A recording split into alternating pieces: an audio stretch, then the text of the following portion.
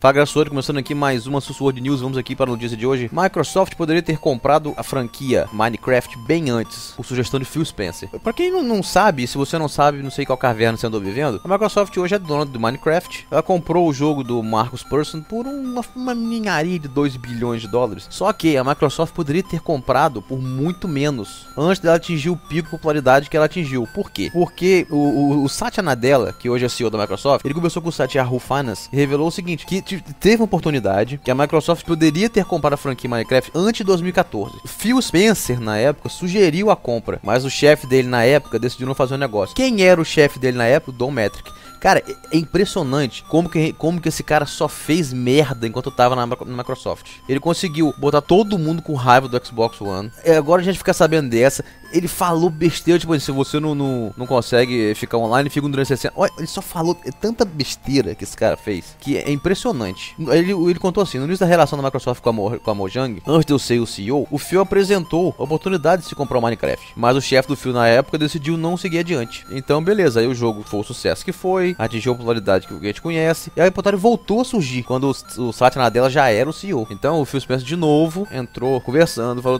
e aí fecharam o negócio. O Bill Gates e Steve Ballmer na época, eles ainda estavam na companhia e eles não perceberam a, a entendeu? A razão do negócio. Eles também não, não, não foram, porque o, o Phil Spencer se dirigia ao idiota do, do Meta. Então eles não ficaram tão, tão por dentro de, do que poderia, como poderia ser lucrativo a compra dessa, dessa franquia. Mas eventualmente eles perceberam e aí aconteceu como aconteceu e a Microsoft comprou a Minecraft. Cara, é impressionante, cara, como é que é, a, a, Microsoft, uma empresa que, que tem tan, tanto dinheiro, tem tantas coisas investidas, como é que coloca uma, uma, uma parte, ou coloca a divisão Xbox na mão de incompetente igual o Dometri? Cara, sinceramente, na primeira entrevista que esse cara deu pra, pra uma coisa, eu já tinha que botar ele pra fora. É impressionante as besteiras que esse cara falou, as coisas que esse cara fez. Os avatares hoje estão escondidos no Xbox One, é porque ele disse que pessoa, as pessoas não ligam pra isso. Se tem muita coisa hoje que, tá, que, que a Microsoft tá consertando na Dash do Xbox One, se muita coisa tá sendo mudada e foi mudada, o Phil Spencer entrou e mudou praticamente tudo, todas as merdas que o, que o Dometic fez. Então é impressionante como é que a Microsoft não teve cuidado de analisar quem que tava à, à frente da, da divisão Xbox. Mas tá aí. Lembrando, Phil Spencer anunciou ontem que estará na BGS desse ano. E nós também estaremos lá. Se eu conseguir uma palavrinha, um, um, alguma coisa, uma foto, alguma coisa, vocês vão acompanhar tudo nas nossas redes sociais. Segue lá, é arroba